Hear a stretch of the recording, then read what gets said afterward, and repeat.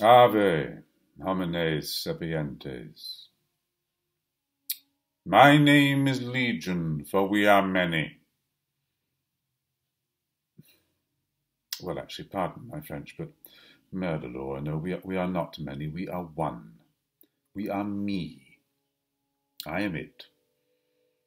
I may seem to be many, and I have been given many names over the years.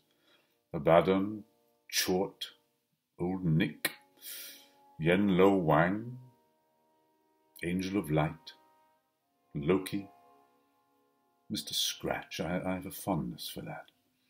Beherit, the adversary, Iblis, Lucifer, son of the morning, Apollyon, and on and on and on. You will probably know me as Satan from the Egyptian Set, in which manifestation I was not regarded as being anything like as black as I have subsequently been painted.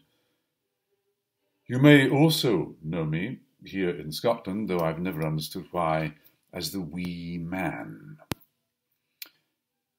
Speaking of which, there is also this nonsense about my son, my theoretical son, the Antichrist, which is sometimes also me.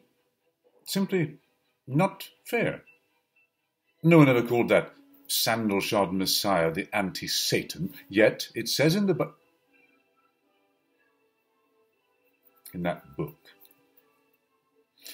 the Son of God was manifested that he might destroy the works of the devil. Hence, of course, that little altercation in the wilderness. But if God supposedly created me too, as an essential part of his plan to test people's faith, hmm, it can all be very confusing. As I was saying, in spite of all these names, I am not many, I am one and indivisible. However, I am omniscient, omnipotent, and omnipresent, unlike you know who, your witless, powerless, imaginary friend. That's right, he doesn't exist.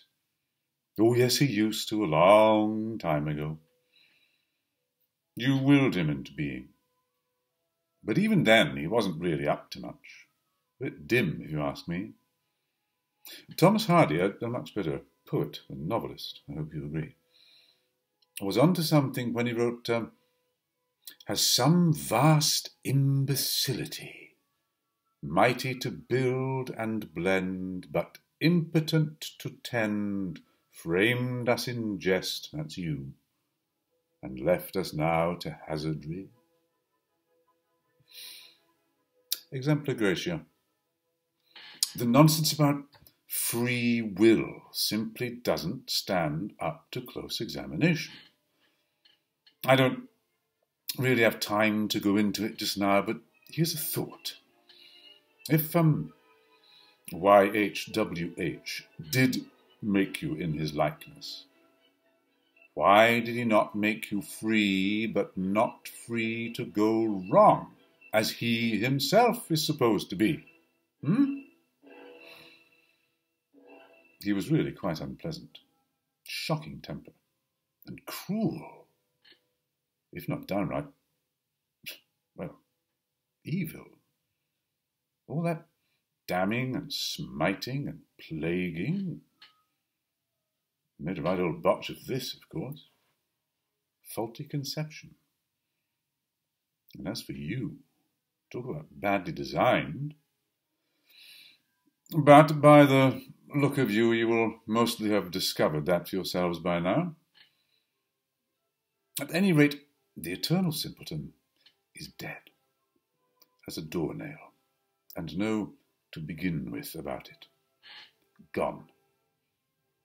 One of your scribblers realized that quite some time ago. Um, begins with an N. Oh, Frederick somebody else. Mad German. No, but not so mad. He knew. It's really only been me for a very considerable time. I'm surprised you've been so slow to realize. Just look at the world around you. In balance, is there any evidence of a smiling, beneficent deity that loves you all?